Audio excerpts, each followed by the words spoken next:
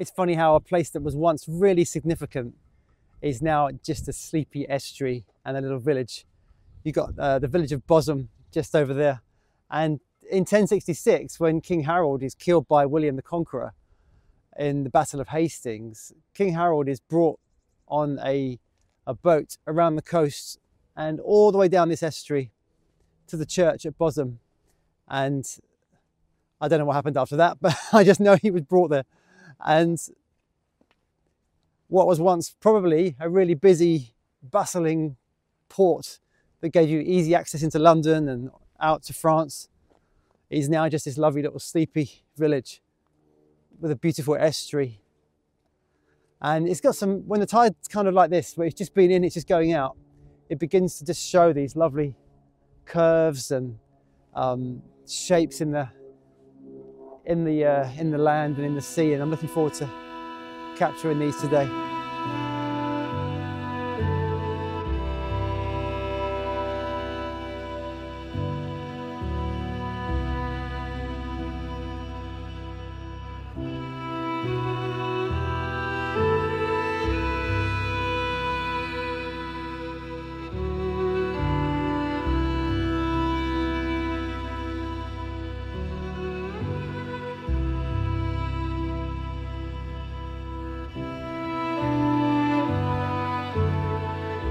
The view back to Bosham village and the harbour is really a quintessentially English view. You've got the South Downs in the background, which is where I live, kind of into those into those downs, and uh, just a really lovely sense of green countryside and the sea. Beautiful.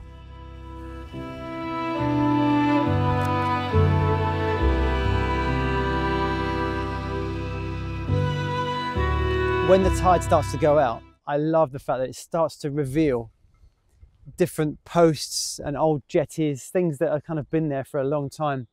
And they're really worth adding to your photography. You know, when you are looking for composition, have a look, you know, what's in the foreground? How can I build my picture into the view to create a layer, layers and layers of depth so that it gives someone something worth looking at, not just a quick, oh yeah, swipe, swipe but something with those layers will keep attention. And things like including, you know, getting lower down, including these posts, some of the grasses, building into the shot, which obviously leads the eye into the church, which is really the main kind of pinnacle in the view.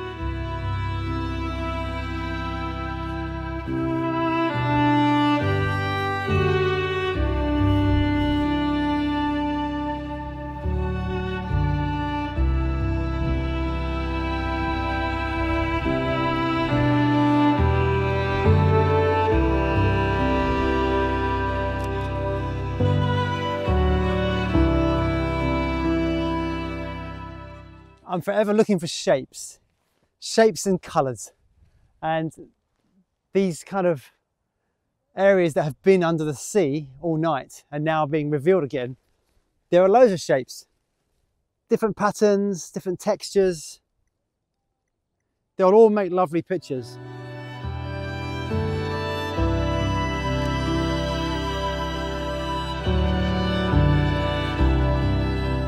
Huge thank you to everyone who's been buying my new presets. They're linked below. Um, makes a massive difference to my channel, so thank you so much for doing that.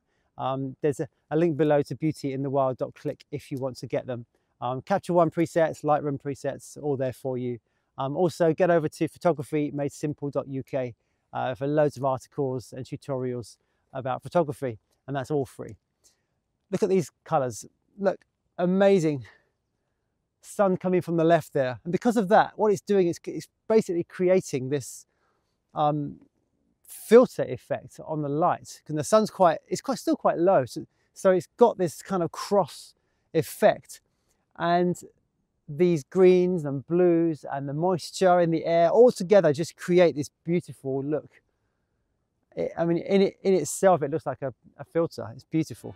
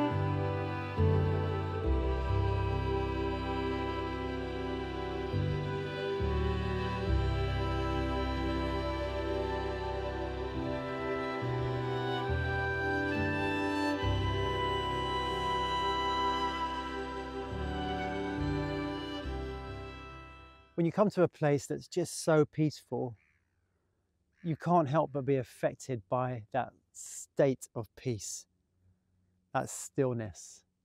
And I think that that helps to bring that mindful approach to photography that, you know, there's no rush, there's not any need to take too many photos. It's just that sense of soaking up, you know, what you're in and enjoying that. And then capturing that as you go, but it's more of a, a mindful state.